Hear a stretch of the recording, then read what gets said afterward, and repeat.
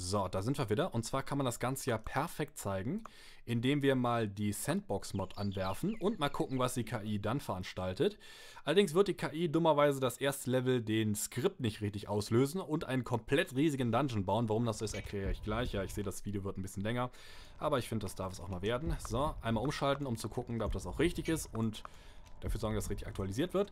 Denn hier hat die KI alle Räume frei und eine Million, wie nennt sich das, eine Million Gold.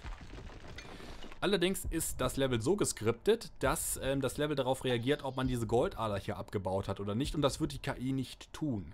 Denn die KI baut ja Gold nach und nach ab. Die KI greift erst nach Gold, wenn sie unter so und so viel Gold gerutscht ist, also nicht mehr so und so viel hat. Und da die KI hier ja komplett reichst ist, geht die KI hier nicht her und gräbt das Gold ab. Also das wird nicht passieren. Hier eine 5x5 Schatzkammer. Dann baut sie den ersten komischen Random-Raum in einer relativ komischen Größe. Das hier ist ja jetzt 5x3. 5x3. Was baut die KI in 5x3? Also, um also nochmal eine kleine Notiz. Um desto komischer die Level gestaltet sind, um desto komischer baut die KI auch Sachen. Und zwar, oh, ein Gefängnis.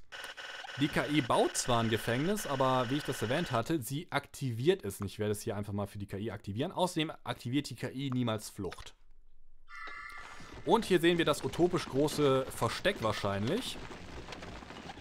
Äh, was ich eben sagen wollte, wo ich stehen geblieben war. Die KI, äh, wenn man die KI äh, komischen Gegebenheiten aussetzt, das heißt Leveln, die eine komische Mod haben, also ein komisches also eine merkwürdige Geldanzahl, eine merkwürdige Kreaturen-Cap-Anzahl, eine merkwürdige Raumanzahl. Dann geht die KI her und kann damit nicht richtig umgehen und macht sehr, sehr merkwürdige Sachen. Hier zum Beispiel das äh, Gefängnis noch vor dem Versteck bauen. So, wo war ich ursprünglich stehen geblieben? Genau. Wenn man mit der Bewegungs-KI zusammenspielt, sollte man seinen Tempel so bauen, dass kein Wasser zu sehen ist, damit die äh, KI die Kreaturen auch wirklich in den Tempel schmeißt. Daraufhin wollte ich erwähnen, dass die KI mit manchen Monstern nicht richtig umgehen kann, beziehungsweise die KI ist nicht äh, dazu in der Lage, einen Hörni richtig zu halten. Des Weiteren ist die KI auch nicht in der Lage, Vampire richtig zu benutzen, denn Vampire benutzt man ja normalerweise so, dass man sie trainiert wie blöd. So, dass man schön 10er Vampir hat, der beinahe unsterblich ist und extrem mächtig. Die KI trainiert Vampire nicht. Die KI geht her und schmeißt Vampire entweder in die Bibliothek oder in den Köderraum oder in die Handwerkskammer. Und erst wenn das nicht geht aus irgendwelchen Gründen, erst dann kommt der Vampir in den Trainingsraum. Beziehungsweise geht die KI so vor, wenn sie einen Vampir hat. Wenn sie mehrere Vampire hat... Oh, die Hühnerfarm fällt ein Stück größer aus. Wenn die KI mehrere Vampire hat, geht die KI her und trainiert dann auch irgendwann Vampir. Ich glaube, es macht sie ab dem vierten Vampir, aber bis man vier Vampire hat, ja, da würde ich sagen, das dauert ein wenig. So, wir kriegen hier die Fliege. Wir kriegen hier drei Fliegen, die kriegen wir immer. Allerdings geht der Skript erst weiter, also die ersten Käfer bekommen wir erst, wenn wir halt dieses Goldstück da abgebaut haben. Das ist relativ praktisch für mich, denn ich kann euch super zeigen, wie sich die KI so verhält, wenn man ihr äh, alles gibt. Eine 9x9 Bibliothek. Wird wahrscheinlich gleich die Fliege reingeschmissen. So, nächster Raum, auch wieder utopisch groß. Könnte die Handwerkskammer sein, denn die KI baut relativ große Handwerkskammern. Was ist das? Das ist 1, 2, 3, 4... Das ist 6 mal... 1, 2, 3, 4, 5, 6. 6 mal 6. Wenn die KI viel Geld hat, baut sie automatisch etwas größer immer. Ja, die KI hat die Fliegen in die Bibliothek gestopft. Oder Trainingskammer? Nein. Handwerksraum. Die KI baut keine großen Trainingskammern. Das hier wird die Trainingskammer. 4, 1, 2, 3. Ja, 4 mal 5. Ist ungewöhnlich groß für eine KI, aber die KI hatte auch hier mehr Geld und fügt deswegen immer ein bisschen was an. Es kann auch sein, das ist im Moment, die KI baut soweit ich das weiß, wenn sie viel Geld hat, auch relativ ausladende Friedhöfe. Nein, Trainingskammer. Doch, Moment, das, jetzt habe ich mich verrechnet. Das ist die typische Größe. Die KI baut immer Trainingskammern meistens so, dass man sechs Stöcke hat. Also sechs ähm, Strohpuppen. Beziehungsweise, wie heißt das eigentlich? So, das ist relativ klein. Das könnte jetzt alles sein. Und hier seht ihr hier diese verlängerten Flure, denn die KI geht her und verlängert die Flure. Okay, es war eine Baracke. Und zwar meistens mit zwei Feldern. Hier zwei Felder, hier zwei Felder, hier zwei Felder. Und weiß dann manchmal auch gar nicht, wo, man die, wo sie wirklich die Tür reinpacken soll. Es kann gut sein, dass die ähm, KI hergeht und hier wirklich die Tür reinballert. Ich warte jetzt einfach mal ab, bis die KI alle Räume gebaut hat. Ich kann ja auch einfach hergehen und die Folge in zwei Hälften schneiden. Ist ja eigentlich auch nicht so ganz so schlimm. Okay, das ist die normale Größe für einen Standardraum. Die KI, wie gesagt, foltert nicht von sich aus. Es gibt in einem Level eine gegnerische KI, die das kann. Unsere KI kann das nie. Selbst wenn man für sie das Gefängnis hier aktiviert, wird die KI nicht von sich aus foltern. So, das wird wahrscheinlich der Friedhof. Etwas, auch etwas ungewöhnlich groß für eine KI. Ich sollte weniger oft KI sagen und manchmal auch Computerhilfe sagen. Das hört sich nämlich komisch an. So, jetzt hat sie den Friedhof gebaut. Jetzt wird die KI einen Köderraum bauen. Köderraum, zu 90% wird das ein 9x9 Feld. Und die KI ist auch in den Teich hier geraten. Das heißt, die Gegner haben gleich eine Angriffsfläche. Die KI ist nämlich nicht in der Lage zu verstehen, dass man hier draußen rumbauen könnte, um halt die Gegner davon abzuhalten, in einen Dungeon zu geraten. Oh nein, das ist der Tempel. Genau, der Tempel wird immer auch 9x9. Zum Beispiel, wenn ich mit der KI zusammenspiele, würde ich jetzt das machen. Ihr die Mitte wegnehmen, in die Mitte einfach hier einen Horchposten reinbauen, damit die KI den Tempel nicht wieder zubaut. Jetzt ist die KI nämlich nicht mehr in der Lage, Kreaturen versehentlich zu opfern.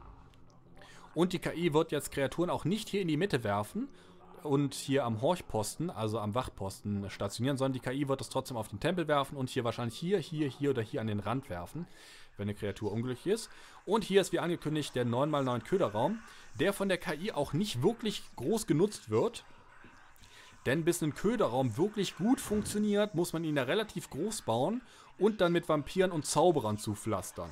Die KI wird allerdings immer nur einen 9er Köderraum bauen, also einen 9er Köderraum, und da meistens einen Vampir und einen Zauberer reinwerfen oder so. So, jetzt hat die KI alles gebaut, was sie bauen kann.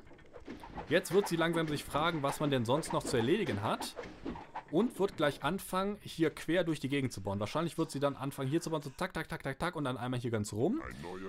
Da haben wir allerdings nicht die Zeit für und deswegen aktivieren wir den Skript dadurch, dass wir die Goldader abbauen. Können wir jetzt allerdings auch hier komischerweise von dieser Seite. Ach ja, genau, hatte ich eben gesagt. Die KI geht nicht her und verstärkt den Dungeon ähm, strategisch. Das heißt, erst... So, Husse ausgeschnitten und ich werde schon langsam heiser. Erst wenn die KI wirklich für die Eames nicht mehr anderes zu tun hat, dann verstärken die Eames ja den Dungeon automatisch. Das macht die KI nicht komplett. Und wir sehen, die KI hat ihre erste dämliche Tür platziert, hier an den Eingang. Völlig unsinnig. Und relativ merkwürdig. Übrigens, wie gesagt, diese 10 Fallen, mit denen man hier in der Sandbox-Mod startet, werden von der KI nicht benutzt. So, jetzt kommen, jetzt ist das Gold abgegraben und jetzt kommen schon langsam neue Monster. Wir haben Alter, 18 Fliegen. Utopisch, die Fliegenarmee. Da freut sich wahrscheinlich gleich eine Spinne. Ja, genau, das Level Cap ist, äh, beziehungsweise das Monster Cap ist in der Sandbox-Mod höher. Ich glaube, es liegt bei 50. So, Troll. Ja, dann haben wir wahrscheinlich gleich kein Problem. Mal gucken, was die KI mit dem Troll macht. Denn man kann ja hier auch dem Troll mal so ein bisschen folgen. Oh, die hat den Troll wahrscheinlich schon weggenommen. Was sehr witzig ist, was ich einmal geschafft habe, wenn man eine Kreatur per Cranium Internum, also per Symbiose selber steuert, äh, kann man wirklich von der KI geschlagen werden. Das heißt, man kann hier als Monster rumlaufen und sozusagen dem Dungeon-Herrn zugucken.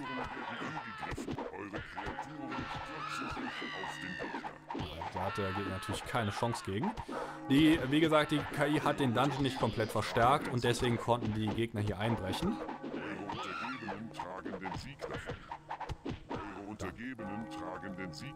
So, was macht er jetzt mit dem Troll? So, was ich sagen wollte, man kann ja hier wirklich Monster spielen mit Cranium und Ternum, also Symbiose, hier wirklich rumlaufen.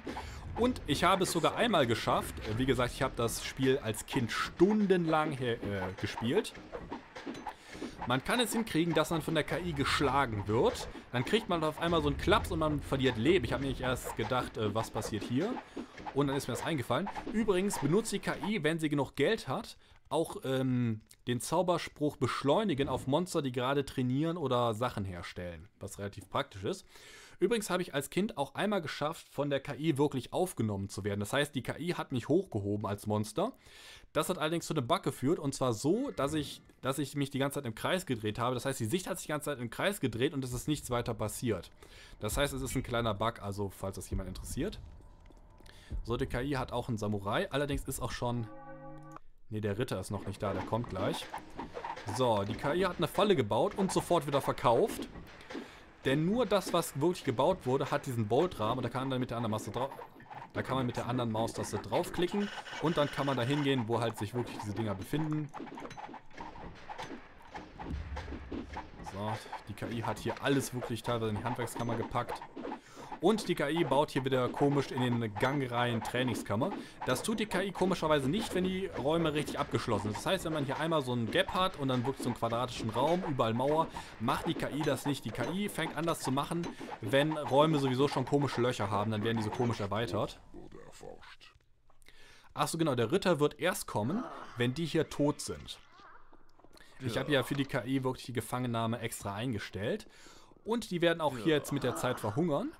Die KI geht allerdings nicht her und füttert die hier mit Hähnchen. Das macht sie nicht. Sie wird sie nicht foltern. Sie wird damit einfach gar nichts machen. Sondern einfach warten, bis sie hier verhungern. Baut die KI mal eine Falle? Ne, die KI verkauft die Falle, weil sie einfach nichts damit anzufangen weiß. Das hat auch nichts mit der Geldnot zu tun. Ich würde allerdings mal gern hergehen und die hier foltern. So. Was die KI in Kämpfen auch macht, wenn die KI genug Geld hat, und kämpft, benutzt die KI auch Kampfzaubersprüche. Ja, was heißt Kampfzaubersprüche? Die KI geht einfach her und benutzt die ganze Zeit Blitzschlag für einen richtig, richtig großen Betrag. Und wir sehen gerade, wie die eiserne Jungfrau sich selber foltert. So, wir können die heilen. Nein. Meistens forscht die KI so langsam, dass man nicht schnell genug ähm, heilen hat. Deswegen so, deswegen sterben die jetzt einfach, aber ich kann den ja mal mit Hühnchen füttern. Die KI ist auch nicht schlau genug, die eigenen Monster, die sich gerade hier... Wenn sich eigene Monster hier regenerieren, weil sie Leben verloren haben, kann man sie ja mit Hühnchen bewerfen, sodass sie sich heilen. Das kann die KI ebenfalls nicht. So, jetzt sind die weg. Der Zauberer ist ärgerlich. Mal gucken, wo er ist. Eure Bibliothek ist zu klein. So, der möchte von sich aus beten, oder? Ja, der Zauberer betet von sich aus. Ah, genau, die Geister gehen auch relativ oft in den Köderraum. Ja, es dauert ja nicht lange. So, dem wurde die Prügelin ausgeschmissen. Und wir haben gewonnen, sobald er von dem ihm halt weggetragen wird. Übrigens, was Gefangennahme angeht, die KI baut leider nicht genug Eames und das ist hier eine Ausnahme, dass die KI hier mal 13 Eames gebaut hat. Das bedeutet, die KI hat leider oft... Dieses Königreich erobert. So. Satz zu Ende. Die KI ist sehr nachlässig mit dem Abtransport von Gefangenen. Das heißt, wenn man selber spielt, geht man her, man macht eine Schlacht, kaut den Gegner ja. kaputt, dann liegen überall die ohnmächtigen Gegner rum, dann nimmt man sich all seine Eames und schmeißt sie einfach auf den Boden, damit die schnell die Gefangenen abtransportieren. Das macht die KI nicht. Die KI ist dazu nicht intelligent genug. Also das ist einfach nicht einprogrammiert. Das heißt, es ist relativer Zufall, dass wenn ihr hergeht und für die KI wirklich die Gefangennahme anmacht und da eingreift in das Spiel der KI, dann äh, ist es relativ vom Zufall abhängig, ja. ob die Gefangenen auch wirklich abtransportiert werden ja. oder die KI einfach hergeht und gibt den Eames was anderes zu tun. Was die KI auch nicht macht, sie geht nicht richtig mit Juweladern um, denn sie gräbt Juweladern so an wie ja. Goldadern. Das heißt, sie gräbt sie direkt an. Bei einer Juwelader muss man ja hergehen, wenn jetzt zum Beispiel das hier eine Juwelader wäre, müsste man ja hergehen, alles drumherum freischaufeln, damit man wirklich alle Seiten der Juwelader, also der unendlichen äh, Juwelader benutzen kann. Das macht die KI auch nicht. Die KI würde sich einfach gerade drauf zugraben, zack, und nur die Stirnfläche der äh, Juwelader benutzen und den Rest einfach egal sein lassen. Außer ähm, die KI hat Glück und es ist um die Juwelader, das ist ja oft der Fall, Gold drumherum und die Eames graben das Gold zurecht, äh, zuerst ab. Und äh, dadurch ist relativ zufällig, ähm, wie viel Gold eine KI aus einer Diamantader bzw. aus einer Juwelader rausholt. Das habt ihr wahrscheinlich schon, das habt ihr wahrscheinlich schon mal bei einer gegnerischen KI beobachten können. Außerdem geht die KI nicht her und deaktiviert Juweladern wieder. Das heißt, äh, ihr habt das wahrscheinlich bei meinem äh, Durchgang im vierten Level gesehen, dass wenn man wirklich eine Juwelader hat oder Juweladern hat mit fünf Seiten oder so, dann gehen ja die Eames her und machen nichts anderes. Man kann ja bis zu 20 Eames mit so einer riesen Juwelader beschäftigen. Und da, deswegen muss man manchmal selber hergehen, wenn man will, dass die Eames noch irgendwas anderes machen, diese Juwelader wieder äh, wegbauen. Das heißt, den Befehl entfernen, damit die Eames auch mal was anderes machen. Das macht die KI nicht und deswegen kann die KI in sehr seltenen Fällen im vierten Level stecken bleiben, weil einfach die Eames nichts anderes machen als die Juwelader abgraben und beim Gegner gar nicht die Fliesen konvertieren und den Gegner gar nicht angreifen können, was auch relativ witzig ist. Allerdings sehe ich, dass dieses Video schon extrem zu lang ist. Das muss ich sowieso in zwei Stücke schneiden. Dann sage ich vielen Dank fürs Zugucken. Dann könnt ihr hier meinen Kanal abonnieren. Dann könnt ihr ein anderes Kanal, einen anderen Kanal abonnieren. Dann könnt ihr ein Video gucken und ein anderes Video gucken. Und dann sage ich mal, bis dann. ist zu klein.